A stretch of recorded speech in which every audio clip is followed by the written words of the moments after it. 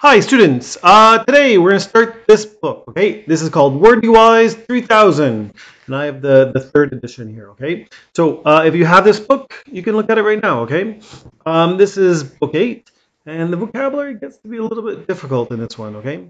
So this video is going to have two parts. I'm going to try to help you, number one, with pronunciation, and then two, with understanding these words, okay? So to help that, down in the comment box, I'm going to put my list of my own sentences, okay? So I've taken apart these words, uh, taken the words out of the book, and hopefully we can learn together, okay? So turn to chapter one, please, right now. Here we go. So let's read these words, okay? I'll give you enough time so that you can say it. Avid, avid, okay? Brusque, brusque. Concise, concise demean, demean, despicable, despicable. Yes, there's a movie with this. Emulate, emulate, evoke, evoke, and excruciating. Okay, excruciating. Good. Make sure you can say all these. Okay, especially if your language is your first language is not English. Okay, be careful with the V sounds and all that. Inaugurate pervade, another V sound, pervade, proprietor, pseudonym, okay? Obviously the P has to be quiet here. Pseudonym, rebuff, resilient, okay? Rebuff, resilient. And on the last page here, there's, where am I? Okay, there I go. Turbulent, turbulent, way there. Okay, turbulent. Good. So um, you need to know all these words uh, before you start doing the work, and definitely before you do the reading. Okay. So let's go through these in order. Word number one is avid. Avid. Okay. So avid mostly means that you um, uh, are very enthusiastic about something. Okay. So maybe you are an avid tennis player. Okay. I'm an avid watcher of the news. It works like an adjective. So you know she is an avid something. An avid tennis watcher, golfer, swimmer, like this, okay? Avid comic book reader, avid video game player. Some of you, my students, okay? So avid. Um, avid does have a second meaning. Avid has a meaning that you really, really want something, okay? So we usually say something like avid for attention, avid for knowledge, avid for knowledge, okay? It means that you really, really want something. Okay, um, is even though it does seem like a little a bit of a greedy thing, um, lots of times this is this is a positive word. Okay, so he, you know, um, if you say someone's avid for knowledge, then they really really want to learn, which is a good thing. Okay, so avid, avid, brusque, brusque. Okay, brusque means that something has been done uh, quickly and usually not in a very polite way. Okay, so if someone is very brusque if I meet you in the shopping mall, like, oh, hi, student. Oh, thank you. uh, goodbye. And then you, you will think to yourself, you'll think to yourself, Darrell was very brusque. Okay, I brusquely um, said hello and goodbye. Okay, maybe I was in a hurry. Maybe I had to pick my children up from school. Usually I'm polite, but today I was like, hello, goodbye, and I'm gone. You see, he was very brusque. Maybe the teacher in your, in your um, school will say, you know, student, come here.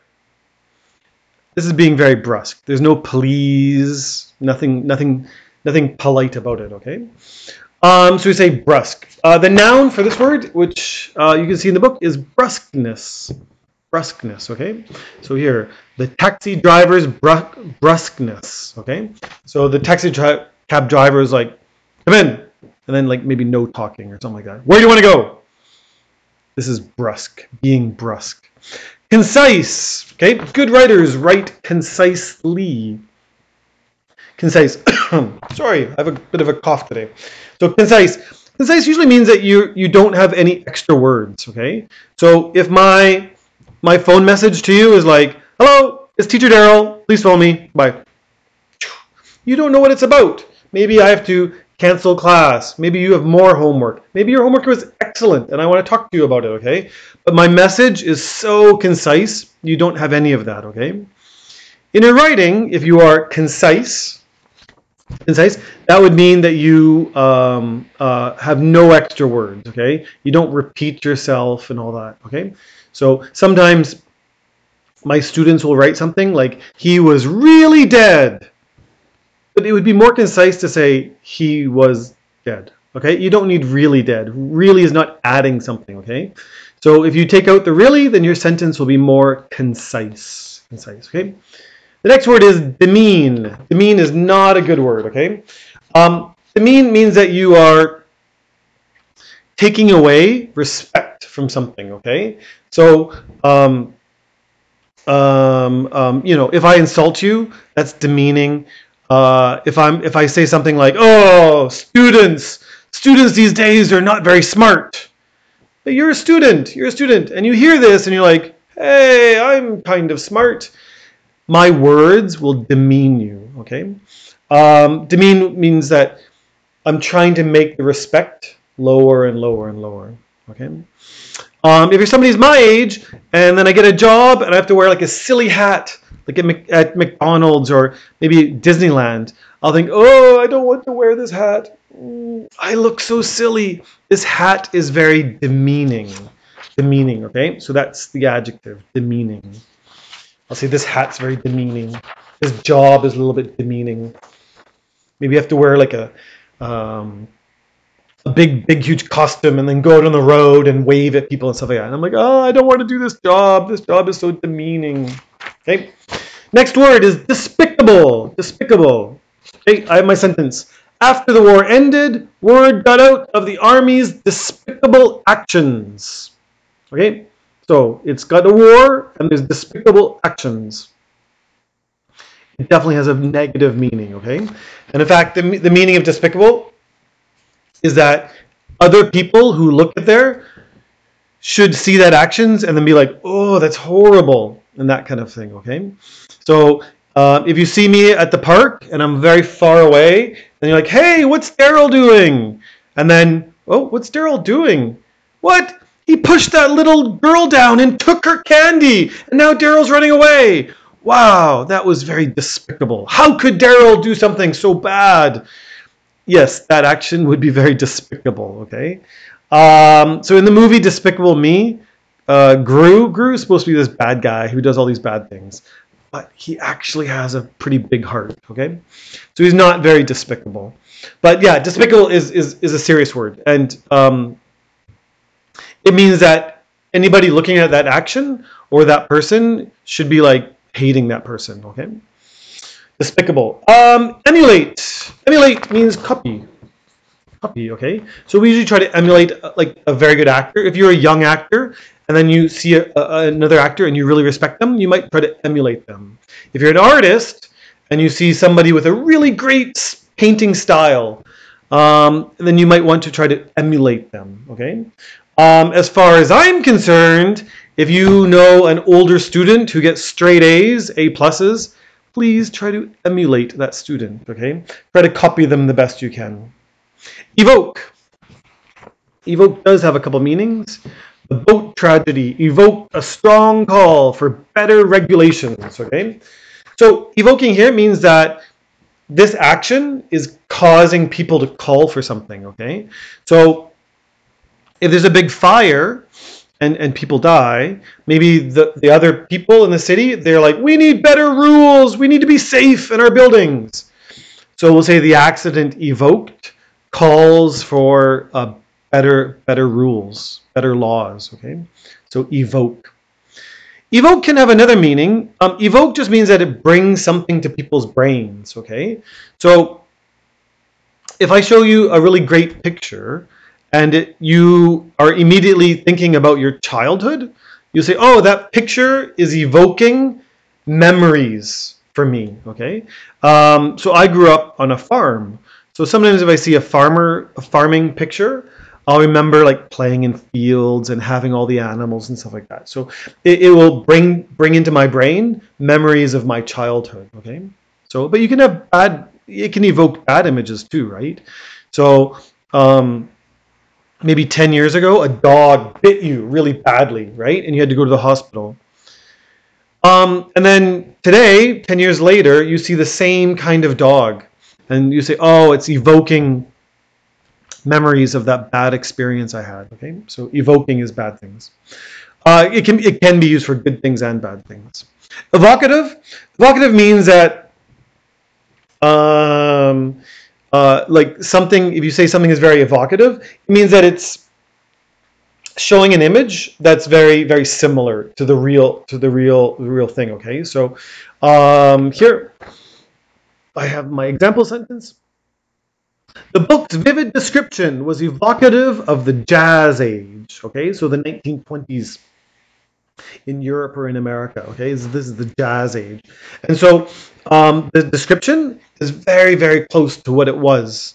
Maybe you say the picture was evocative of China in the year 1500. Okay, so it just is like very, very good at putting the image in your mind. Okay, excruciating. Okay, hopefully you don't feel anything as excruciating. This guy's got an excruciating headache.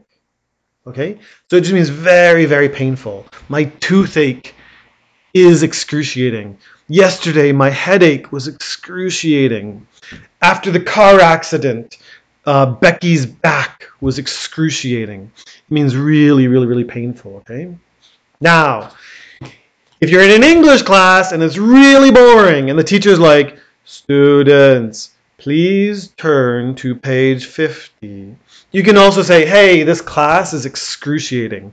In this case, it means it's causing you really, really bad pain, but it, it means boring. Okay? The next word, hey, we're on to the next page, will be inaugurate. Inaugurate, okay? Um, inaugurate means that, that you're going to try to open something or something's going to start for the first time. Um, so when, a, when you have a new president or a country has a prime minister, and it's kind of like their first day, they often have a party, okay? So when Barack Obama or Donald Trump became president, you know, on the very first day, there's like a party, okay? and this will be like the inauguration party, okay? And the country is inaugurating a new president. Um, we use it for for um, uh, presidents. You can also use it for new buildings. So uh, my sentence here is the university will inaugurate a new building. Okay, so this is like when you first start to use something. Okay, pervade, pervade.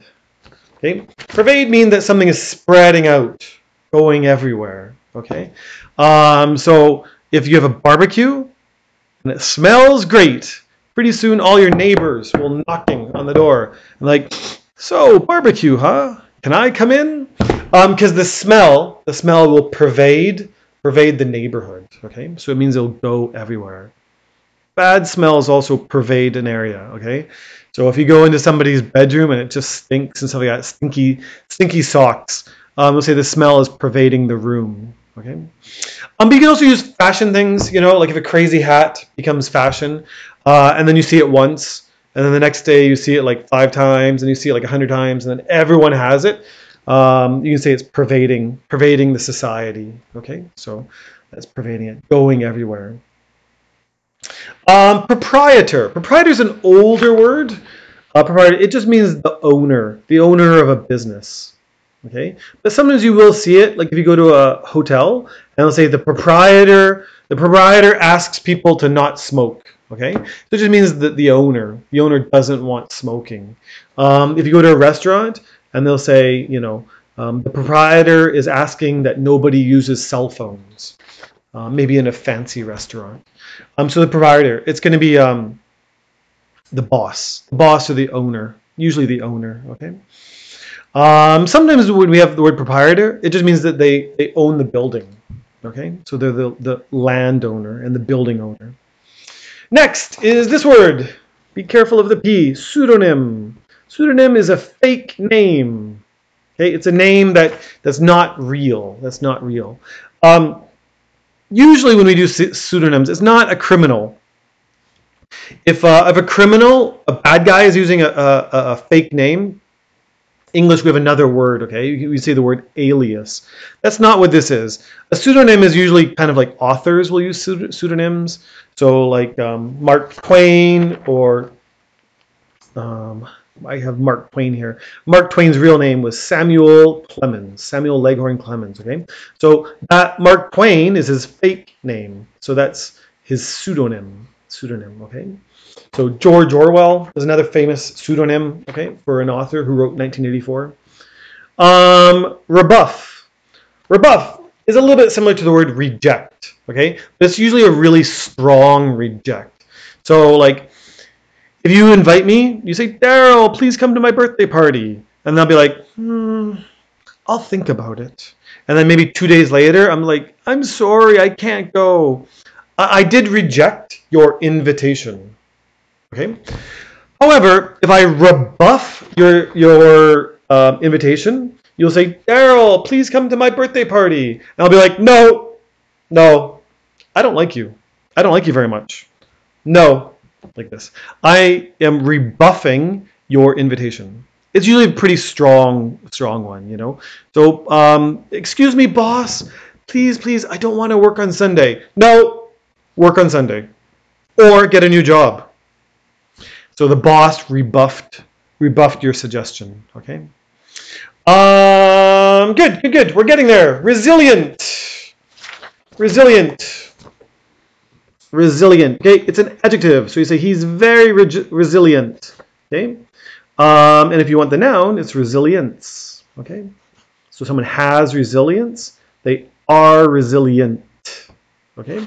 Um, resilient means that you're usually very good uh, with bad things. Okay, so if you're like a healthy person and you get sick, um, you can get healthy very quickly. Okay, but if you're an older person or a young child, it's usually a little bit more difficult. Okay, so we'll say like um, a healthy person has more resilience.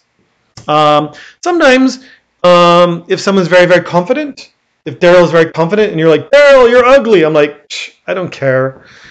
Um, and I, I don't listen to it. But other people, if you're like, you're ugly, they'll go home and cry for a long time. Okay, um, they have less resilience.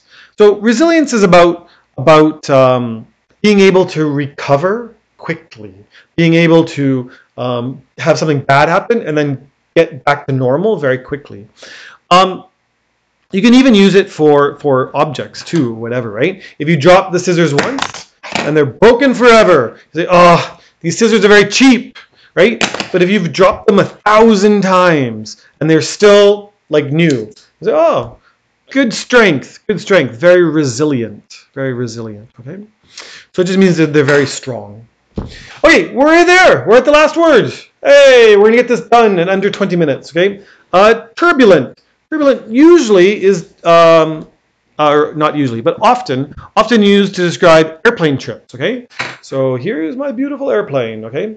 Um, if you're on the airplane and you just go here to here, that's great, no turbulence. But if you're going here to here and it's like, and people are getting sick and stuff like that, that airplane had a lot of turbulence, okay? Um, like a bumpy ride, okay? Now, if you use it in a different way, um, you can say like that country is having a lot of turbulence.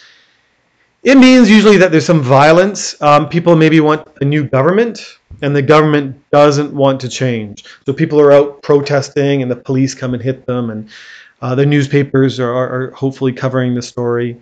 Um, we'll say, oh, that country right now is very turbulent. Maybe you should not visit visit that country.